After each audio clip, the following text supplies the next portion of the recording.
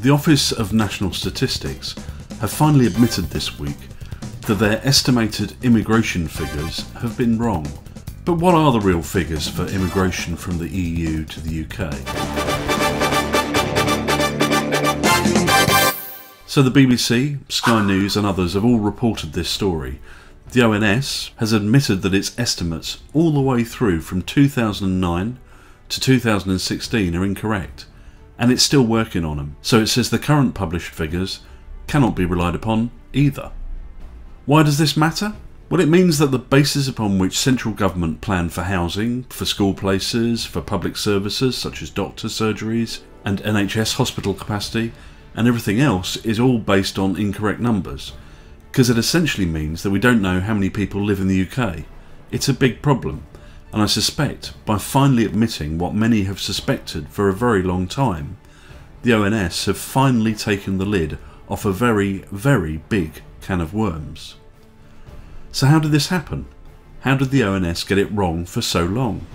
Well, the staggering truth is that in this country, we don't have a system for accurately measuring immigration at all.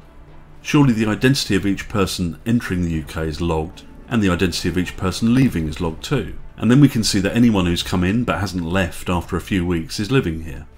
And then we look at births and deaths and add in the net immigration figures and we can work out how many people are actually living here at any point. No, that's not how it works. The staggering truth is that the immigration figures are not based on a simple system like I've just described. They're in fact based on a travel survey that was devised in the 1960s. It's called the International Passenger Survey. Essentially what happens is this.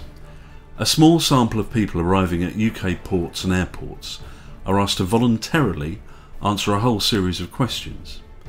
One of those questions is, do you intend to stay for more than 12 months?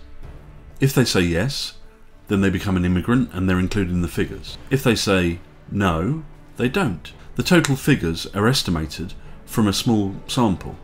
Now bear in mind that anyone coming from anywhere in the EU can get a flight home for less than 100 quid with a cheap airline. So why would they say they intend to stay for more than 12 months without returning home? Surely unless all your family and the majority of your friends have moved away, you'll regularly return home and therefore never be counted in the figures. So essentially these estimates are completely misleading. They're constantly quoted by the media and used in calculations, but they're nonsensical. So to go back to the original question, what are the real figures? Nobody knows. Ridiculous though it might seem, it's true.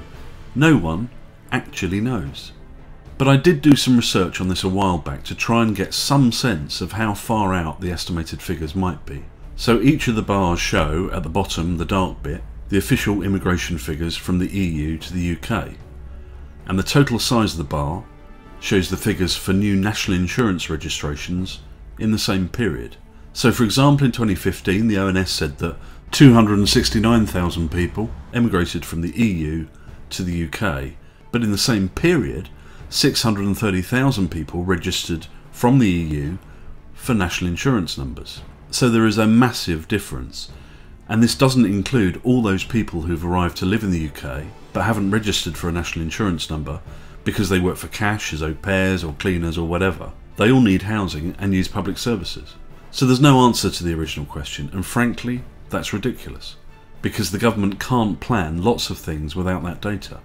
And it's a perfect example, therefore, of how Brexit really is about taking back control and doing things properly and responsibly, and that as a nation, the role of national government is to govern for the benefit of its national citizens. So you do at the very least, at the most basic level, need to know how many of those citizens there are to provide for. To see our future videos, subscribe to our YouTube channel and click the bell icon.